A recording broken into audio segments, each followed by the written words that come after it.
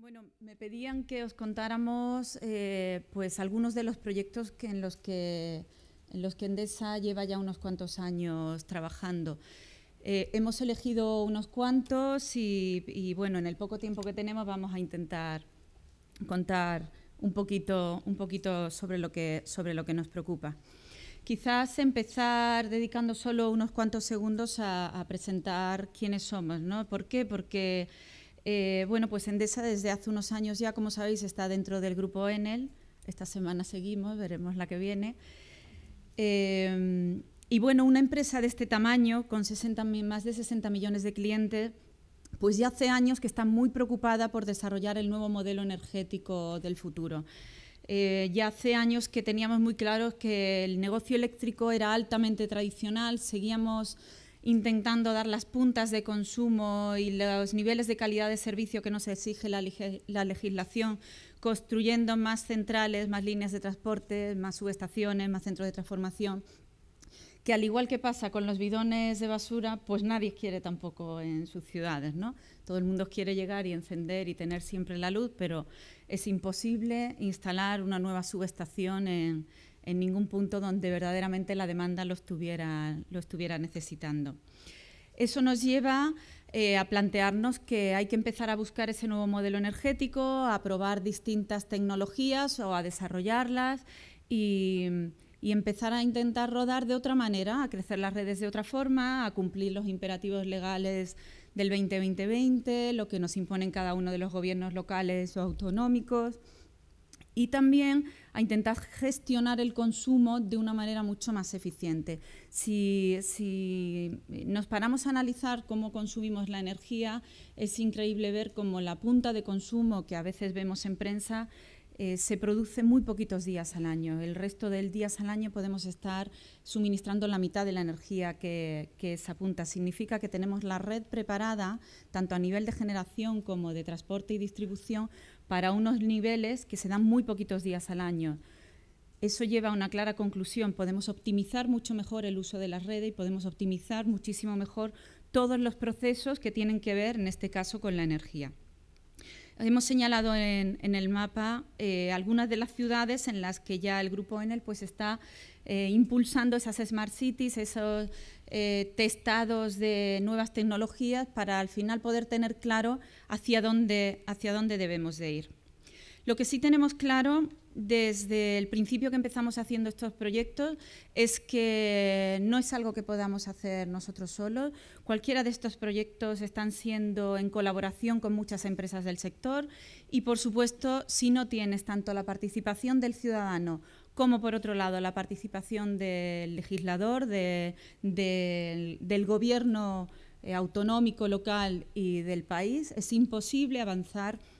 en esta línea de, desarrollo de nuevos modelos de negocio y de desarrollo del nuevo modelo energético. Hace muy poquito Endesa ya ha anunciado una nueva iniciativa que se llama Ciudad y Energía, en la que va a intentar articular todos eh, los nuevos procesos que deban ser necesarios para eh, lograr esa ciudad mucho más eficiente a nivel energético, trabajando tanto con los gobiernos como con los ciudadanos. El modelo en el que hemos trabajado en cada uno de los proyectos que llevamos años desarrollando eh, más o menos sigue con esta, con esta dinámica. Hay unas necesidades o unos proyectos establecidos en las ciudades, hay unas normativas legales que cumplir y hay una serie pues, de seguidores donde estaríamos toda, toda la parte industrial que, que, son los que nos tenemos que montar en este barco para intentar llegar a los objetivos que nos imponen. Está claro que este trabajo, como os decía, mm, pues debe de implicar a centros de, innovación, a centros tecnológicos, como es el caso de Tecnalia, que son los que nos ayudan desde, desde el conocimiento y la tecnología a poder desarrollar todas esas, esas nuevas áreas en las, que, en las que debemos embarcarnos. Todas estas son las áreas en las que de alguna u otra forma tenemos proyectos desde hace una serie de años. Eh, para nosotros fundamental porque fue imperativo legal empezar en el 2009 con el desarrollo e implantación de la telegestión. Ya hay más de cuatro millones y medio de clientes telegestionados en las áreas donde distribuye Endesa en España. Eh, a partir de ahí hay que desarrollar toda una serie de sistemas, de desarrollo de nuevos servicios que las comercializadoras puedan dar a los clientes gracias a toda la información que se está recibiendo con la telegestión. Eh, la, siguiente, la siguiente capa, diríamos, importante es la transformación de la red eléctrica en una red inteligente. Es fundamental la instalación de las tecnologías de información y comunicación sobre la red eléctrica para transformarla en una red de comunicaciones que te permita eh, coger todos los datos de lo que está sucediendo en la red en cada punto y poder tomar decisiones en cómo estás distribuyendo, generando, almacenando, consumiendo. Por supuesto, intentar integrar muchísimo mejor la generación renovable, integrar y controlar sistemas de almacenamiento, la carga del vehículo eléctrico, edificios inteligentes, eh, sistemas de gestión activa de la demanda, y todo, y todo aquello que en algún momento toque a la parte del, negocio energético. Os voy a, contar rápidamente el proyecto más grande que empezamos hace cinco años, que fue el Smart City Málaga. Este fue un proyecto que nace con el apoyo de fondos de la Comisión Europea, era FEDER, éramos 11 empresas del sector y 15 grupos de investigación. Como veis, Tecnalia participaba desde el principio en el área de eficiencia, desarrollando los sistemas que fueron necesarios para integrar la gestión de la demanda en hoteles y, clínicas eh, hospitalarias de la zona donde trabajamos.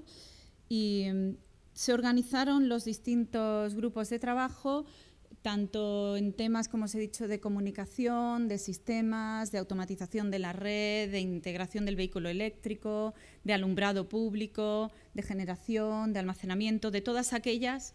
eh, tecnologías que de alguna forma pudieran mejorar el desarrollo del negocio eléctrico.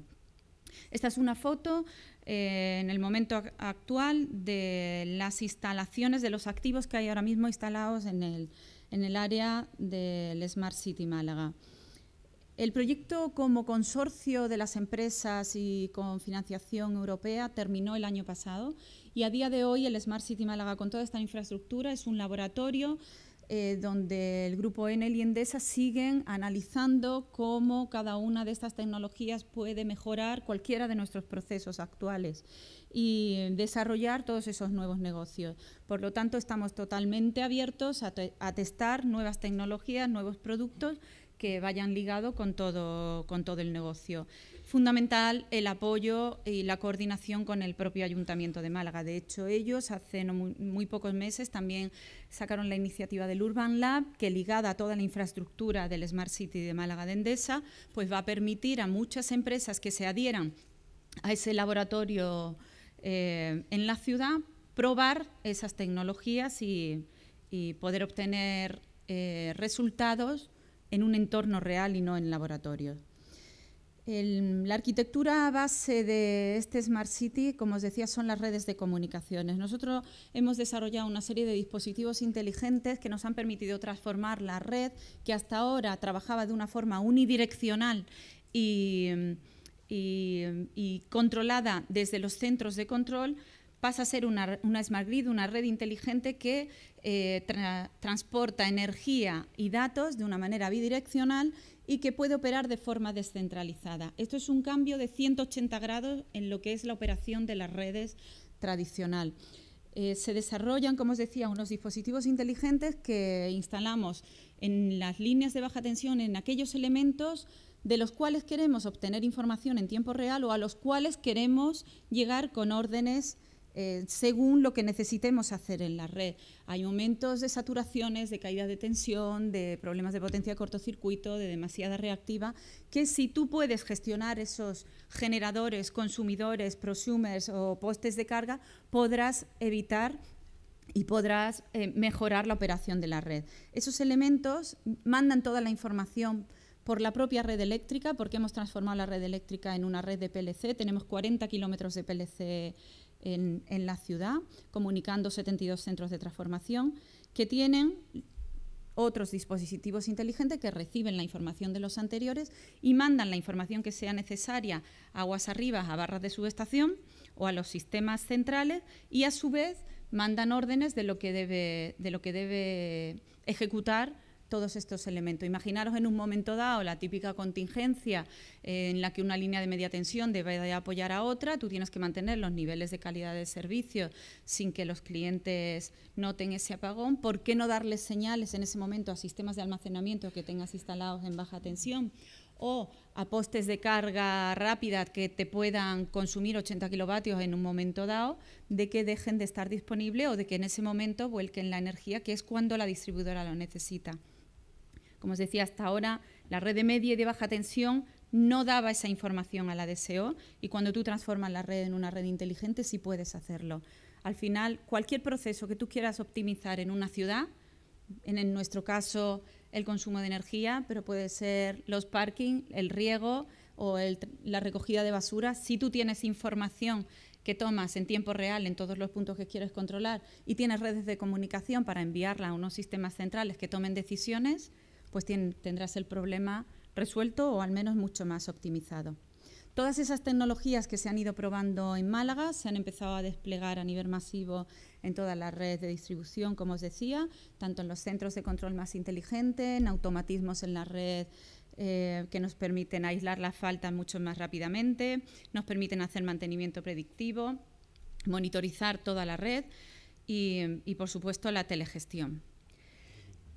Me voy a los proyectos de vehículos eléctricos, que también son muy importantes para Endesa. Como sabéis, hay otro proyecto eh, con un consorcio Japón-España, eh, donde por nuestra parte del Ministerio está el CEDETI y por la parte de Japón el, mismo organismo que se llama NEDO, y donde más de 61 millones de euros se han eh, focalizado en el desarrollo de un laboratorio en ciudad de vehículos eléctricos. Hay más de 200 clientes que tienen ya un wallbox instalado en su casa, que tienen un vehículo eléctrico eh, con un sistema de renting y que te los puedes encontrar ya circulando por toda, por toda la ciudad. Por supuesto, ha habido que desarrollar un montón de infraestructura y de, y de, y de TICs para soportar este proyecto. En todo momento, eh, están monitorizados tanto los wallbox que tienen en las viviendas como los postes de carga rápida que hay en muchos de los parkings de, Málaga y se están testando también distintas tecnologías. Muy interesante la tecnología V2G que permite volcar de nuevo la energía que tienes en tu batería a la red cuando ésta la necesita. Como os decía, los sistemas se han desarrollado para tener monitorizado en tiempo real todo lo que está sucediendo, con lo cual estamos viendo pues datos, estamos obteniendo datos muy interesantes, cómo usa la gente el coche eléctrico, cómo carga, cuándo carga, si prefiere cargar en los rápidos, en los lentos, cuál es la velocidad media, em, cuál es el uso que le está dando, cuánto se aleja de las ciudades con los coches y con eso pues se podrán tomar decisiones de hacia dónde focalizar el negocio futuro. Aprovechando toda la trayectoria en vehículo eléctrico, empezamos el año pasado otro, otro proyecto muy interesante de carga de autobuses de las ciudades por inducción. Estamos desarrollando el primer carril que va a cargar por inducción tanto estática como dinámica un autobús eléctrico de la MT de Málaga.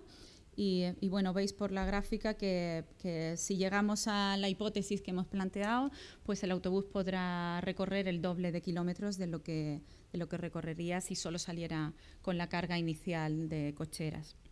Solo para terminar, eh, comentaros que la parte de Endesa que, que no es ni comercializadora, ni generadora, ni la parte retribuida, la distribuidora, que es Endesa Ingeniería, pues tiene muchos de estos productos ya en fase comercial. Ellos ya instalan microgrids con generación, con almacenamiento, con sistemas de control del alumbrado, del aire acondicionado, de todo lo que importa para hacer más eficiente en una barriada, en un polígono industrial o en un edificio.